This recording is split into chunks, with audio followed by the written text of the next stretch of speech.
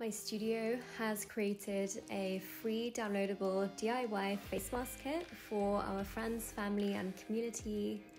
On our website, there will be a link on our menu called Face Mask where you can download an image and print this on an A4 page which will allow the pattern to be cut out to size. Our face masks have been designed with a slit to allow you to place an antivirus filter inside. We're now going to take you through a video tutorial showing you in a very simple step-by-step -step, um, guide of how you can make this in the safety of your own home.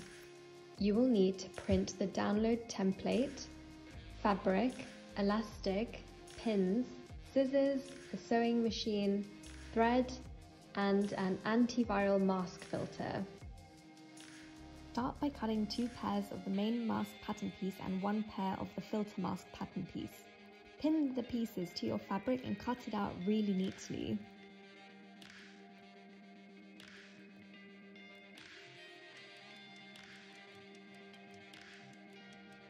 Next, sew the centre fronts of all three pairs. If you are using pattern fabrics, put your pattern sides facing towards each other when sewing.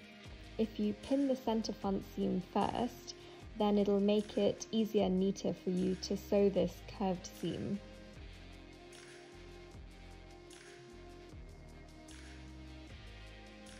Snip into your curves without cutting into your stitch line.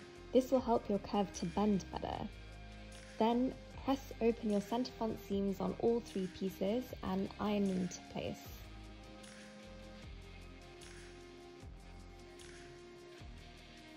Fold and press 1 centimeter on the side edges of all your pieces.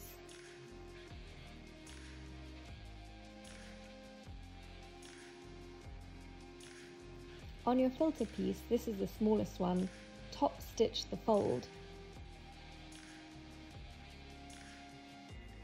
Now it's time to layer your pieces together. Place one of the main mask pieces facing up, then layer your smaller filter piece on top also facing up. Line up your centre front seams on top of each other. Place the main piece facing down. Pin this and sew across the top and bottom.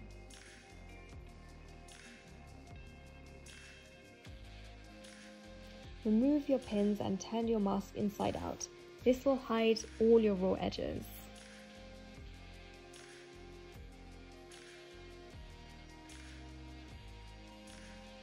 To attach the elastic to your mask, hold your mask up to your face and check how long you need your loops to be. Make sure you leave at least one centimeter on each end that can be sewn inside the mask, then stitch into place. You are almost there. Give your mask a quick press to finish here is the valve where you can place your antivirus filter inside. And you are done. It is the perfect time for you to recycle and reuse materials that you have in your own home.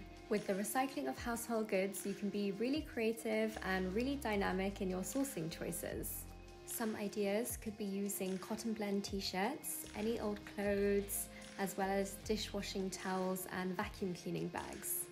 The tighter the woven fabric, the better, and you can hold this up against the light to see how much light it lets through. Sending a lot of love to you and your families from me and my studio. Stay safe, and I know that we can transform this situation with a united community spirit.